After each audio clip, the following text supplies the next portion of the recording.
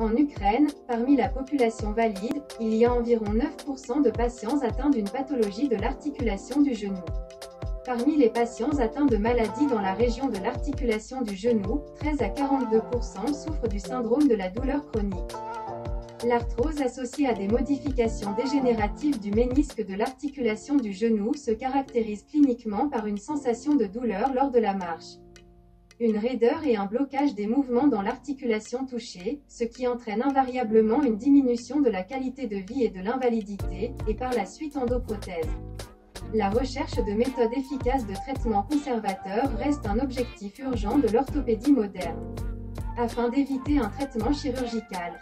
Les patients présentant des modifications dégénératives de l'articulation du genou se voient proposer diverses méthodes conservatrices, telles que la perte de poids, la kinésithérapie.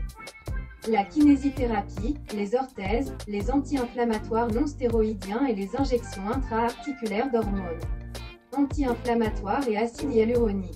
En général, le but de chacune de ces méthodes thérapeutiques est de réduire temporairement la douleur et d'améliorer la fonction. Les technologies de la médecine régénérative, qui connaissent un développement rapide et visent à devenir une alternative aux méthodes de traitement classiques, sont venues aider à résoudre ce problème.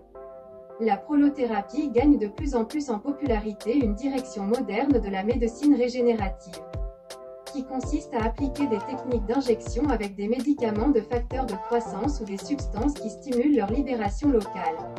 L'introduction de ces médicaments, produits biotechnologiques, entraîne le lancement d'une cascade de réactions immunitaires dans la zone endommagée et la stimulation des processus de régénération des modifications articulaires endommagées ou dégénérées.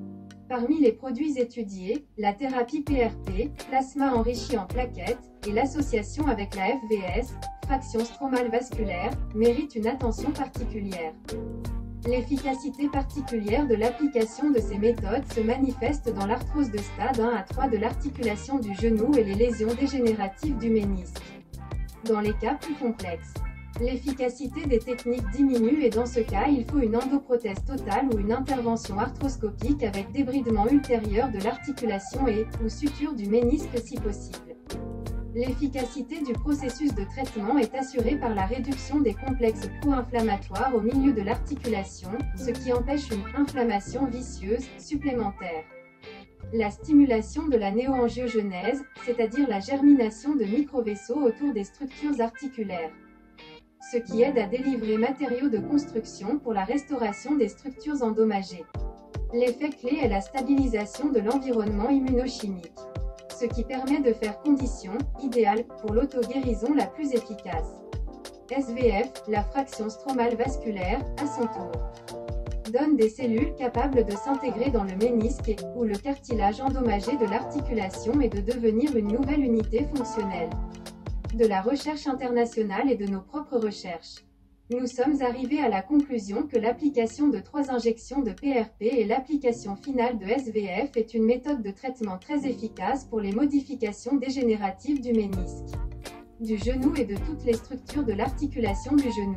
Les principaux avantages de cette technique sont la sécurité, car seules ses propres cellules sont utilisées. Une efficacité élevée et un effet à long terme sont également des avantages clés qui ne sont pas observés lors de l'utilisation de diverses formes de comprimés de médicaments. D'injection de médicaments hormonaux anti-inflammatoires, d'acide hyaluronique à usage unique et même d'une intervention arthroscopique utilisant VAP, et surtout, cette méthode ne, nécessite pas d'intervention chirurgicale dans l'articulation elle-même. Seulement une injection presque indolore qui prolonge la durée de vie de la propre articulation et de ses structures internes, permettant un mouvement indolore. Le processus de rééducation après la thérapie dure environ deux mois avec une augmentation progressive de la charge fonctionnelle et la disparition de la douleur et de l'inconfort.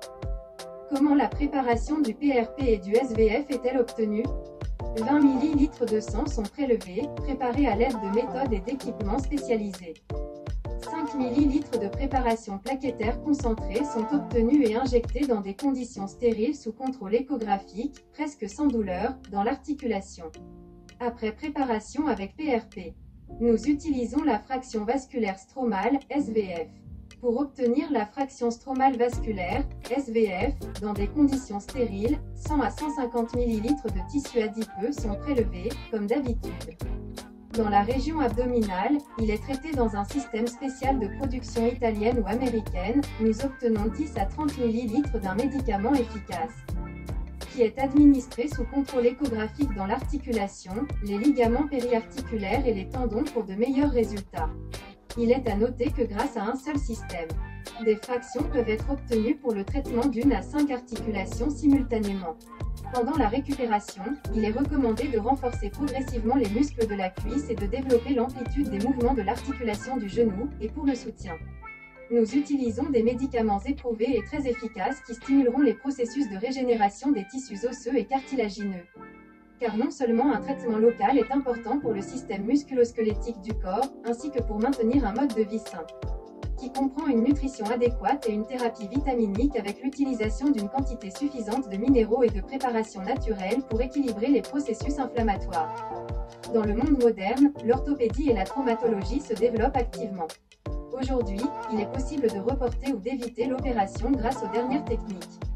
L'utilisation de PRP et de SVF est très efficace pour l'arthrose et les modifications dégénératives des ménisques de l'articulation du genou, ce qui aide de manière sûre, efficace, économique et à long terme à se débarrasser de la douleur et à améliorer la fonction de l'articulation.